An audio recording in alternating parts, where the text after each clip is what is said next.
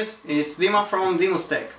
So uh, lately I thought of doing a video about uh, what is a host file, but when I realized that in order to do this I must first explain a few other things like DNS and IP. So today I'm going to speak about the IP address. If you know what is an IP, you can just skip this video. Anyway, uh, if you know the network, uh, the internet is basically a bunch of computers speaking with each other and with other servers, devices, which are basically computers as well. Uh, in order for any device to speak to each other, they need to have an address. So for example, if I want to send something to another computer, I need to know its address. I can't say just send it to my friend's computer or whatever, because uh, computers won't understand it. Now, uh, all our in equipment, uh, computers and everything, is connected to routers, switches and a bunch of stuff like that, which uh, can navigate through all this network, which create actually this whole network. Now, uh, in order to speak to someone, uh, it goes the same with your phone. If you want to speak to a friend, you can't just tell your phone call uh, Johnny or whatever, you need to dial a number, you need to have some kind of number to call him. So an IP address is basically pretty much the same. You basically have an address, uh, which uh, today consists of four uh, segments. So for example, 192.168.1.1 for example uh, that one should be an internal IP. Uh, anyway, uh, this is just an example, so as you see it's 192.168, this is the second uh, segment, dot 1, this is the third, and the fourth is again 1. It's just an example. Uh, it can be, of course, another number as well, but basically this one uh, is used for internal addresses and usually for routers because this is the first address usually for the network, so that's uh, basically uh, one example.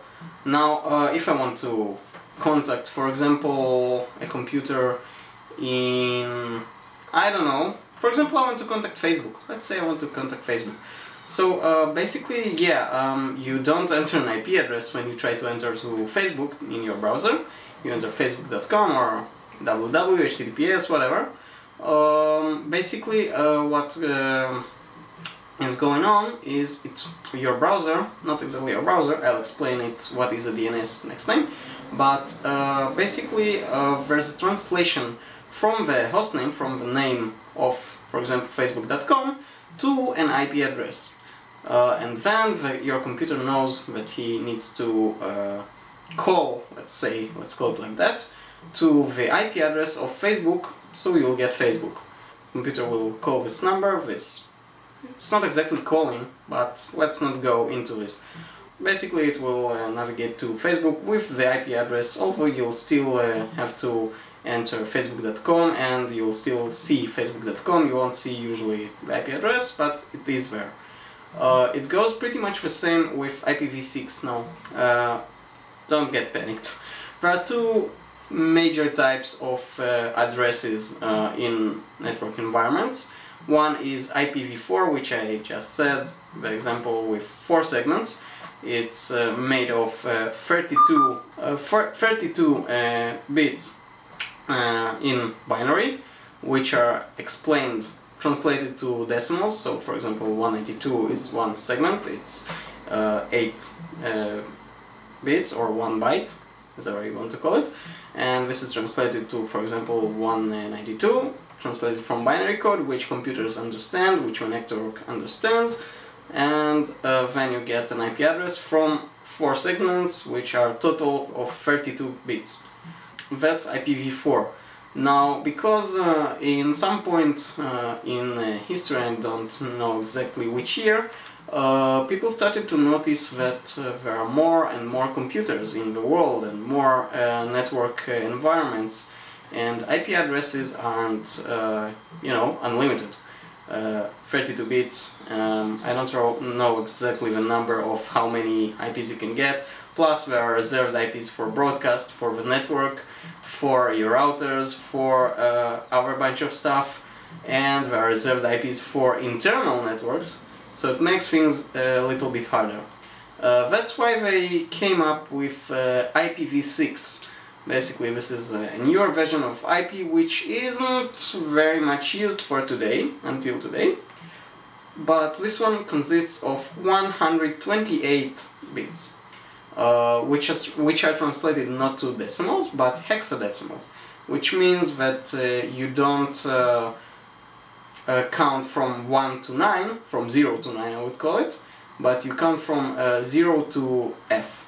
So basically it's uh, 0, 1, 2, 3, 4, 5, 6, 7, 8, 9, A, B, C, D, E, F.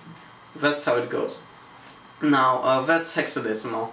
It means uh, it's a base of 16, so uh, it's bigger than 10, higher than 10.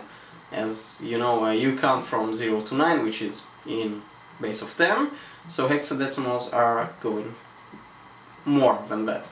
So that's uh, basically pretty much what is an IPv6 now. Uh, IPv6 works a little bit differently.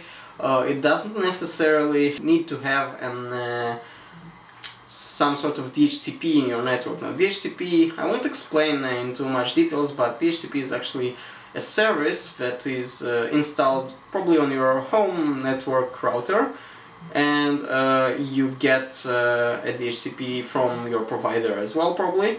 Uh, basically what DHCP does is just say, okay, hi guy, you are a new computer in my network, I'll give you an IP address, so you'll have an address. Uh, so uh, that's what DHCP does, it just gives addresses and it has few rules, it can't give the same address for two computers and other stuff like that, but let's not get into this too much.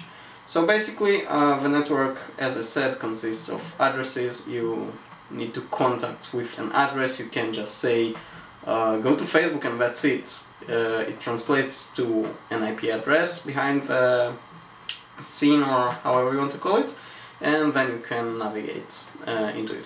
Now uh, I'll give you some um, uh, links to Wikipedia if you want to read in more details what is an IP address, and uh, what is an IP address v4 or IPv6 for example. Basically that's pretty much it for today for IP uh, lesson or whatever you want to call it. Uh, and I'll see you next time uh, with an explanation what is DNS.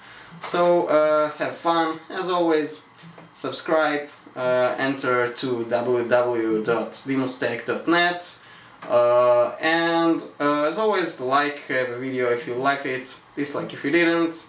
And when you subscribe, don't forget to check the V uh, to get other updates on your videos. For example, the next video will be DNS explanation. So yeah, subscribe and have fun. See here all those info, all those stuff. Nothing really interesting. They just try to buy your attention so you